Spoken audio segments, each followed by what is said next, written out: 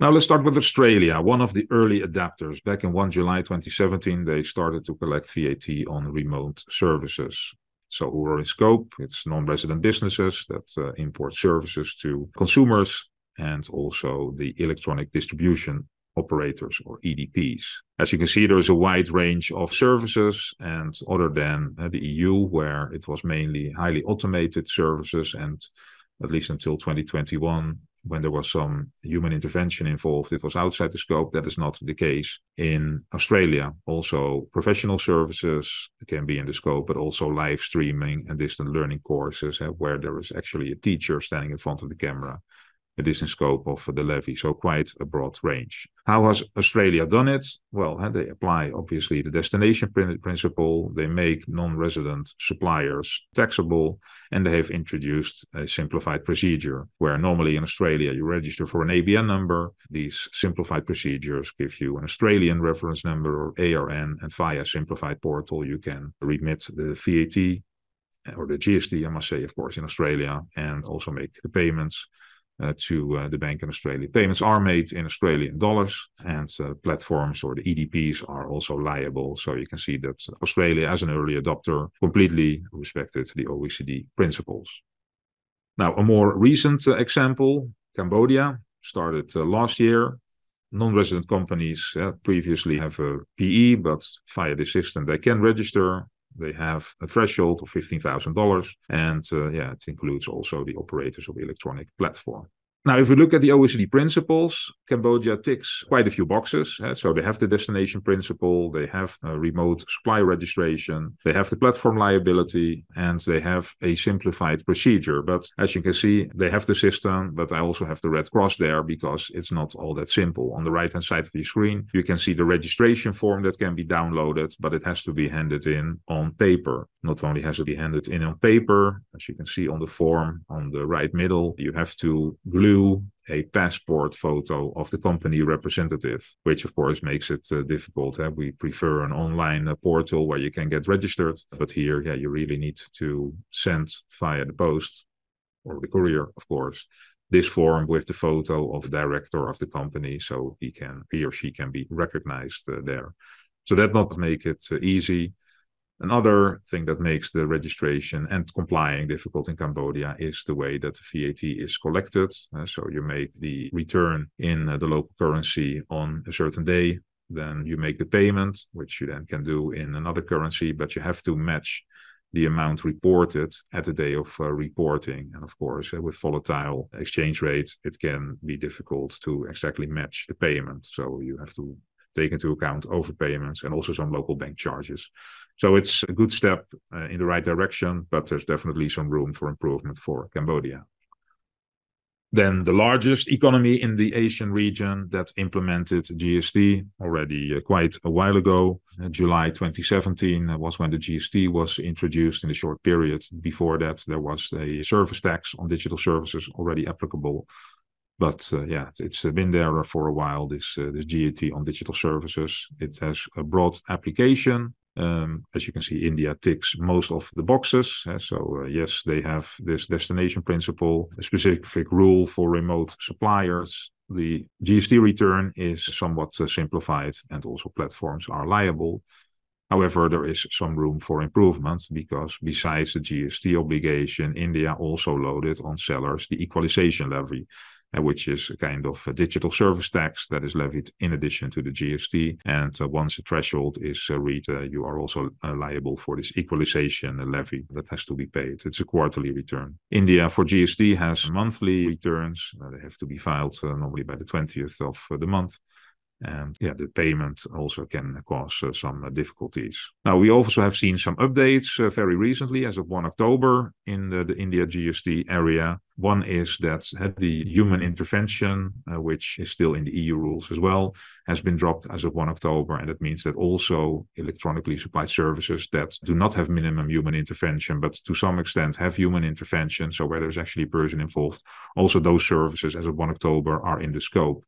Uh, next to that, there has been a significant rate increase. And so the normal rate is 18%, but for online gaming, so for games of chance, there is an additional rate. So there's now a rate of 28% that applies since uh, 1 October, where there is a gambling aspect uh, to the service. And uh, lastly, although GST is only collected on B2C supplies, since last month also supplies to B2B buyers have to be listed in the GST return.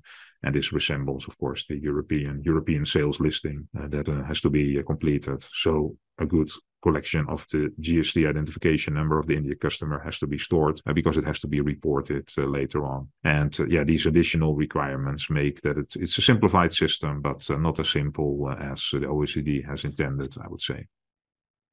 Moving on to Indonesia, also relatively recent country with the introduction. The rate is uh, 10% in Indonesia. So they have the destination principle, they have the remote supplier seller obligation. It's a simplified procedure, procedure, but it is not that simple.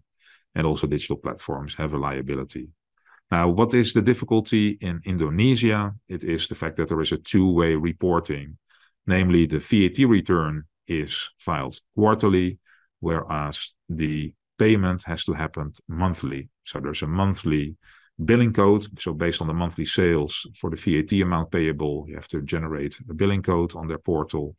And once all three monthly payments are in, then you can allocate these payments to the quarterly VAT return and submit the quarterly VAT return there. So it's a bit of uh, hassle. So you have four reportings per quarter and also to get the payments there that can take uh, some uh, trial and error because the bank has to receive exactly the amount that is on the billing code.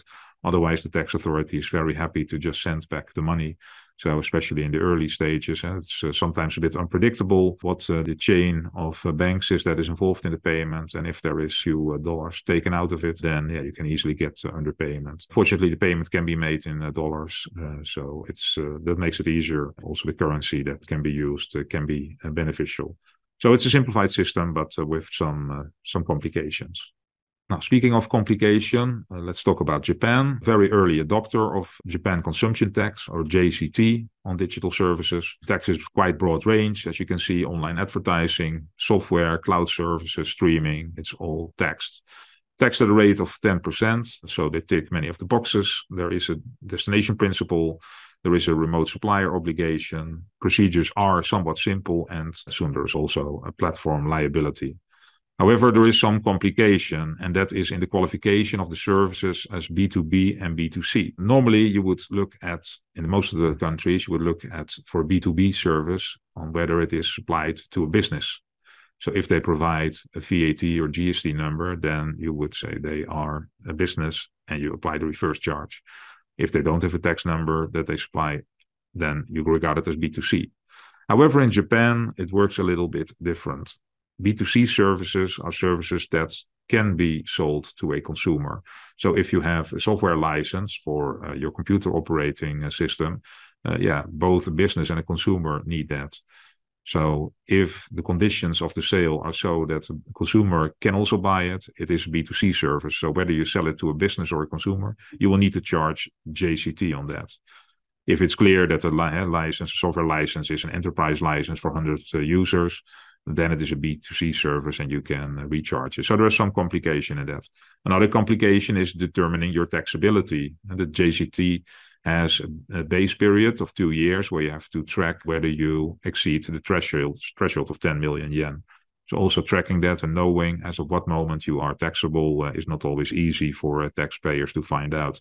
And you definitely help uh, need help from a local agent uh, in that respect. In addition, also as of 1 October, there is a qualified invoice system. So if you sell to a B2B customer, in order for them to be able to reclaim the, GS, the JCT, you need to be uh, on that uh, invoice system. So also that creates some additional complication and that means that we do not see all green, green ticks there, but also for the simplified procedure, it's so-so.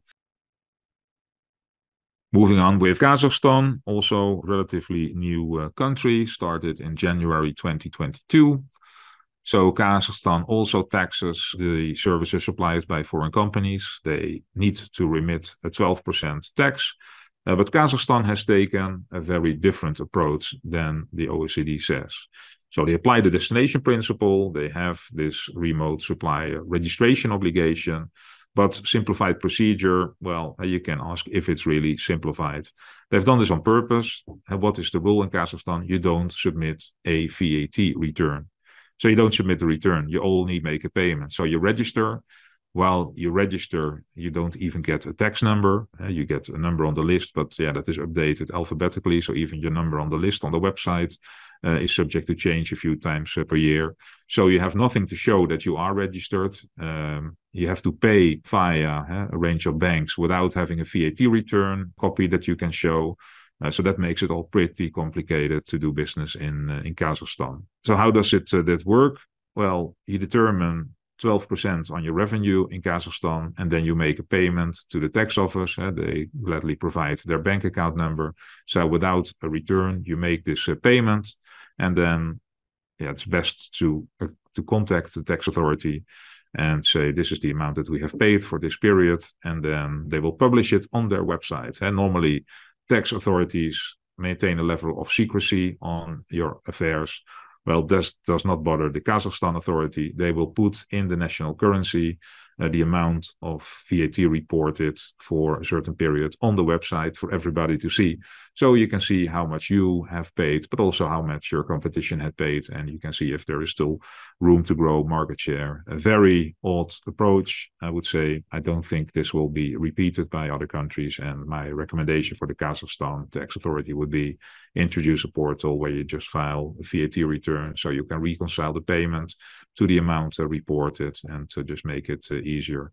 Payments can be made in a variety of currencies, so that is uh, that is a good approach.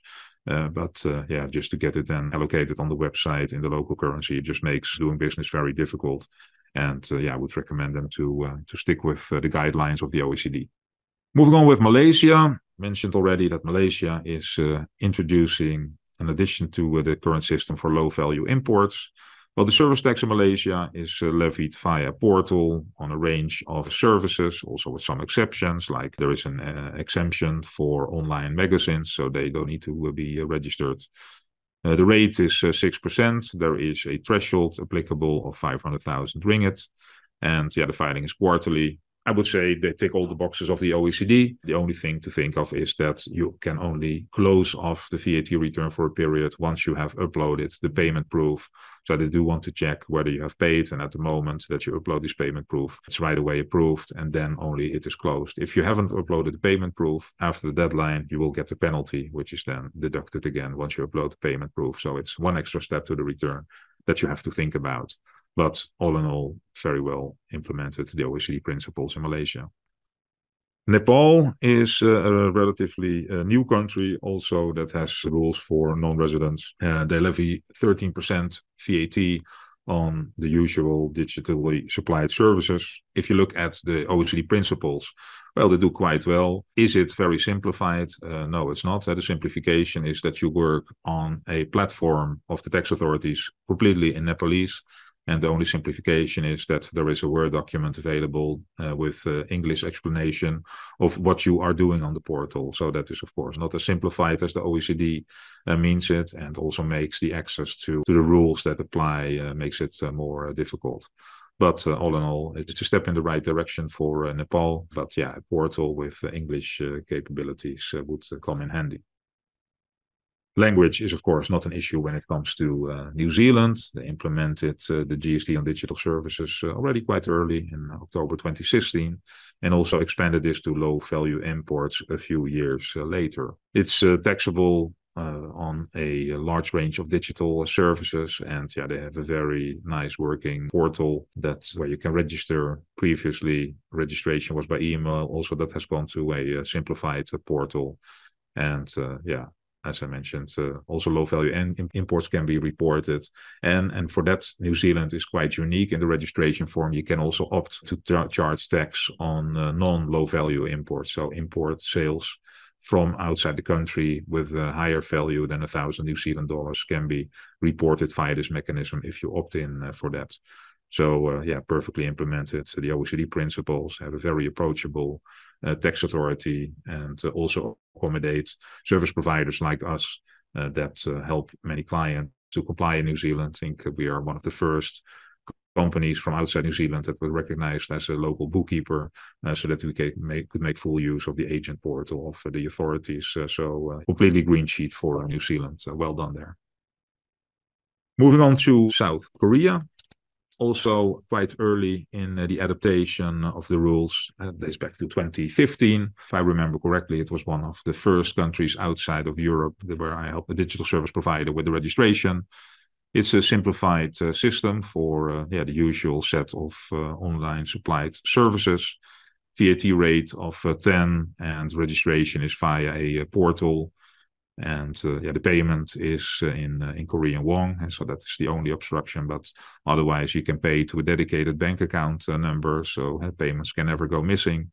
And uh, yeah, the destination principle applies just like the other requirements for the OECD. So South Korea, it's a very comprehensive uh, system and uh, easy to comply for non-resident companies. so yeah, all green ticks for for South Korea.